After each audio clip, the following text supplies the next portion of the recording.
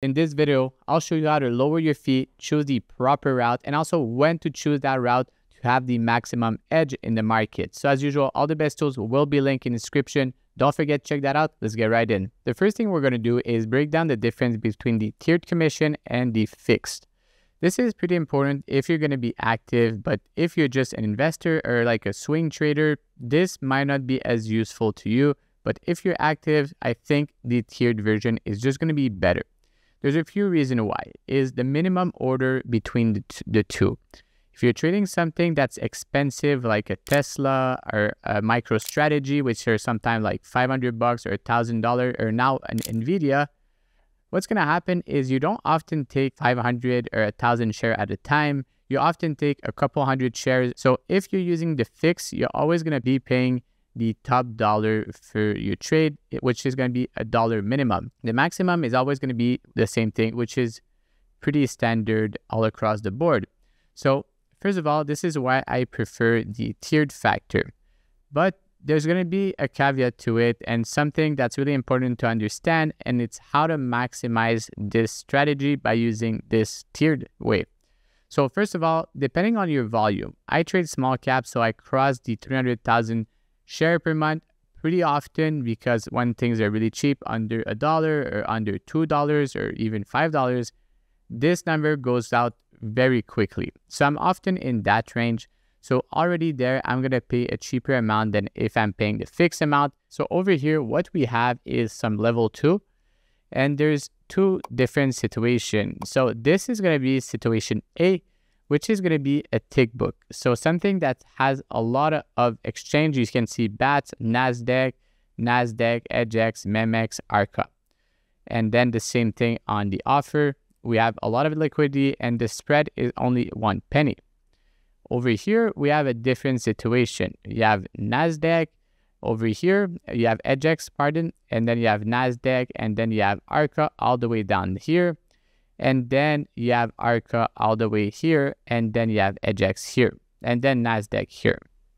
So you can see that the market maker or the exchange that you're trying to get, if you example, deciding to choose ARCA as a route is going to be pretty bad because you can go buy the offer at 277 then if you try to sell on ARCA you're going to get 259 which is a big loss for absolutely nothing because there was a better price you could have got it at 264 in a scenario like this if you're using ARCA because there's so much liquidity on the book you're getting ARCA here you're getting ARCA there so the route that you choose in this situation is not going to really matter. And this is going to be important because it's going to change the commission structure or the way you execute trade when I break down the structure right after. So in this scenario here, what I like to do is really use the smart route. What it's going to do is if I go to pay for the offer, it's going to get me something on EDGX because it's going to reroute to the best prices possible. And then if I want to sell, it's going to sell me here at 264 on this. And I don't have to choose EDGX or NASDAQ or an ARCA. It's going to get me either in between the spread, so between 264 or 276 in the between. It's called the mid market. Or it's going to get me the worst price, which is going to be that 264. Or if I'm buying the 276, that's right here. I'm not going to be paying ARCA at 277 or ARCA here at 259 to sell. Same thing here. If I go to smart smart route, what I'm gonna do is I'm gonna pay either 218 or 217. And sometimes you get prints in the mid, which is gonna be in between these price. This is when you have these long prints on your execution because it's hitting the mid because there's liquidity between on the dark pool. In scenario A, I don't really care which route I'm using because there's just so much liquidity. And this is often going to happen when the market is open. Scenario B, what we have is a dangerous level two to trade on just one exchange because you can really take a big loss just by not looking at the level two. So for me, when I'm trading in the pre and the post market, it's really important that I use the smart route. Otherwise, I get really screwed if I don't pay attention. So what I do in the pre-market is always put my route on the smart route. And then when the market is open, I generally leave it there within my hotkeys or sometimes I'll change it depending on if I'm adding liquidity And this is what we're going to be breaking down next. Sorry for the interruption, but if you're getting value from this video and you're learning about how to improve your fee, don't forget to like, subscribe. I also did link all the best tools to day trade in description. Let's get back to the video. So now that you see the two level two that we had, the example, it's going to make a lot more sense. So if I'm paying always the fixed structure, which is over here on the on this category, the fix, it's going to be here, the fix what I'm paying is always 0.005 and there's not really fees. So every 100 share, you're going to pay 50 cent. Every 50,000 share, what you're going to do is $250. And this doesn't matter which route you use. You can use the smart route, you can use Arca, you can use EDGX. You're just going to always pay that, which is somewhat expensive because you can actually pay less in doing it a bit differently. So what I do over here is I have a structure for take and a structure for add. Taking liquidity means you're using a market order, you're buying on the offer, you're selling on the bid, you're shorting the bid, or you're covering on the offer. If you're crossing the spread, that means it's going to be taking liquidity.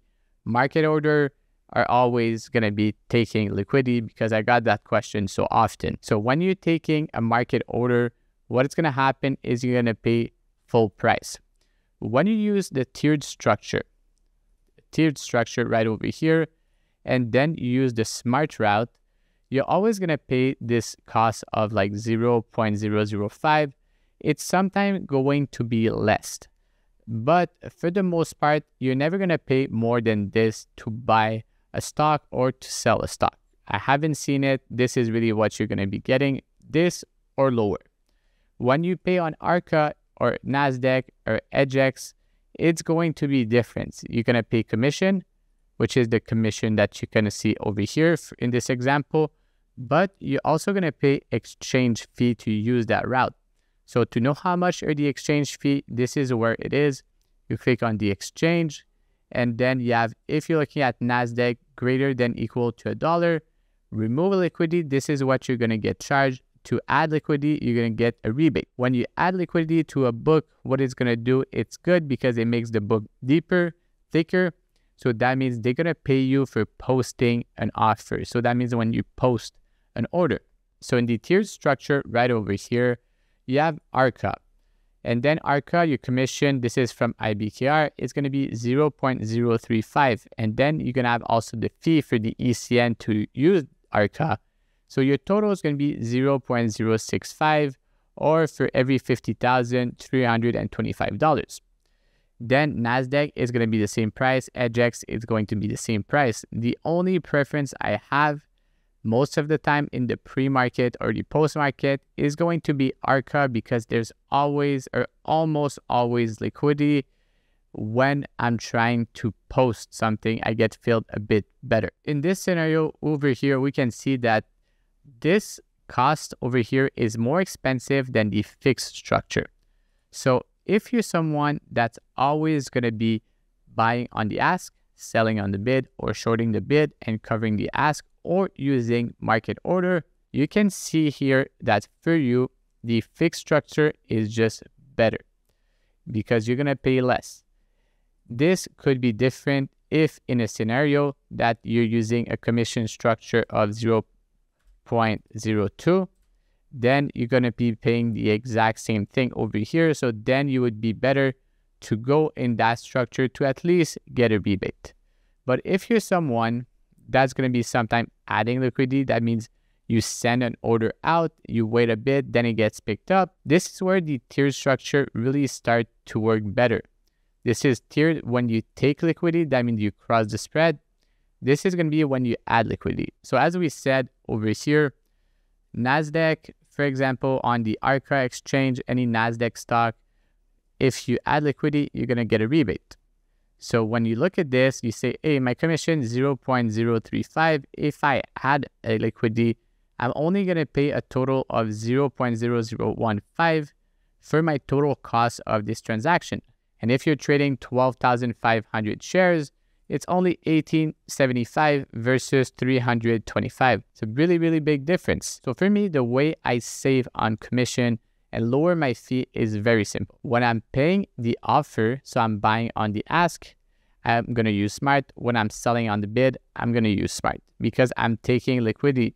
So I don't want to pay more than I should. And this is going to be the max that I'm going to pay for that transaction. So it's going to be 0.05 or something like 250 for every 50,000 shares. Every time I take, it's going to be the 0, 0.5, even if I'm using the fix, just because I'm using the smart route. And this is going to help me because in a scenario like this, because I do trade a lot pre-market and post-market, I'm not going to take a big loss over here because if I'm using ARCA, I'm going to pay 277 to get in. Then I want to get out 259. I'm just losing a ton of money uh, just by trying to use ARCA, which is going to be a bad decision for me. When I'm using Smart, I'm going to get this price at top.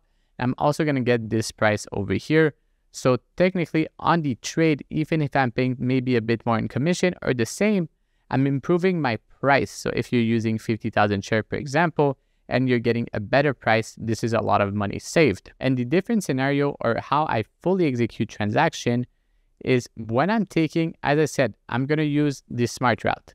But when I'm adding or I'm exiting a trade, because sometimes a trade is working well, you have time, you send order at a specific price.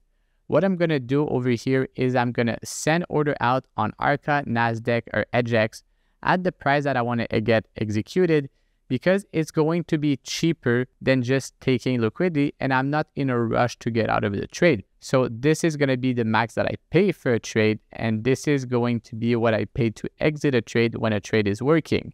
So as a total, as a whole, I'm going to pay less in fees than if I'm just using a fixed structure or over here, I'm just taking an liquidity on ARCA, NASDAQ, or EDGX all the time. So in this example, 50,000 shares, 50,000 shares over here, day volume, commission, 250 bucks. If I'm trading 50,000 share in the tiered structure, ARCA 0.35 for the commission, then fees 0.03, total commission 3.25. So the better option for me is to take, you know, 50,000 share on Smart and as soon as I can, maybe execute a quarter of this transaction on something like ARCA over here or EDGX because it's going to save me some money. So this is just how I do it and also why I use Smart Route. And sometimes I'll have ARCA and NASDAQ and EDGX in my execution, just a way to improve my price, my total fees, and to maximize my edge in the market by getting as fast as possible in the stock without having to pay a bad price to get in. So I hope you guys enjoyed this video. If you do, like and subscribe. Peace.